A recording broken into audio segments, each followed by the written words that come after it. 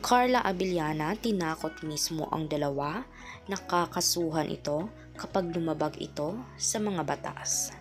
Alam ni Carla ang namumuong tensyon at relasyon umano sa pagitan ni na po at mismong asawa nitong si Tom. Ika pa ni Carla ay hindi talaga niya lubos aakalain na magkakatotoo ang lahat ng kanyang panaginip noong una. Dahil lubos niyang kakilala umano si Lovie po na talagang nakaka-attract din naman pagdating sa mga lalaki. Ngunit kahit kailan umano ay hindi sumagi sa kanyang isipan na si Tom na kanyang asawa ay talagang mafo-fall in love sa kanyang karelasyon at katambal niya sa teleserye na si Lovie po.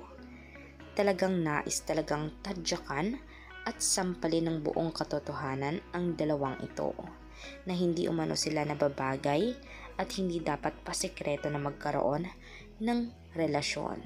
Ika ni Carla Abellana, hindi ito nagkulang bilang asawa. Mahal na mahal umano niya si Tom at ginagawa niya ang lahat para kay Tom. Alam umano iyan ng lahat ng mga taong nakapaligid sa kanila, lalong-lalo na ang kanyang ama. Ang kasal umano ay talagang sagrado. Hindi dapat umano piyakin at talagang mas lalong hindi dapat putulan ng koneksyon dahil ang dalawang magkairog ay talagang dapat magkasama panghabang buhay.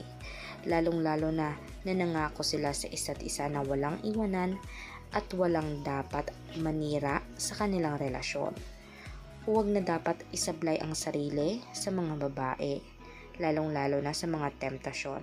Kaya huwag dapat hintayin ni Tom na masagad pa si Carla Apiliana dahil iba talaga ito magalit. Kaya anong masasabi niya dito? Huwag kalimutan mag-subscribe at i-click mismo ang notification bell para lagi kayong updated sa ating future trending videos na ina-upload kada araw.